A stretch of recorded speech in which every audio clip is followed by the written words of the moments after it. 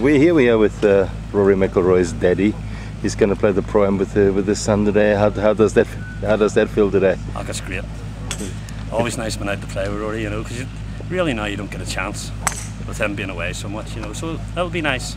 Can you remember when it was the first time you played with him uh, He was in like an official tournament at tournament, home? He was nine. We played in a father and son. I think we won. Yeah, we won easy. so Yeah. nothing has changed since then. No, well, he was a higher handicap, and I, I used to play like a lot of golf. So what handicap was he like? And uh, when he was nine years old? When he was nine, he was off like 14. Time he got to 12, he was scratch. Time he got to 14, he was plus one. Time he got to like 16, he was plus I think five, wow. and turned pro then the year when he was 18, Yeah. plus six.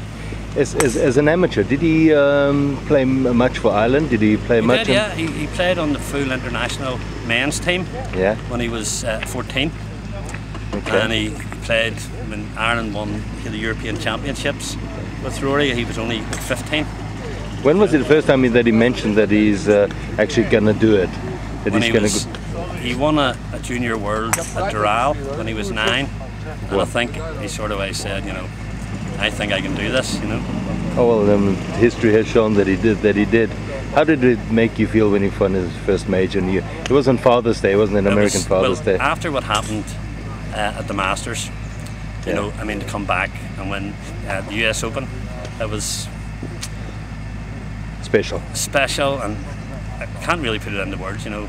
Yeah. being a father, it's always nice to see I mean, your son doing so well. Uh, absolutely. Um, his um, his ideas of his fu- of his future.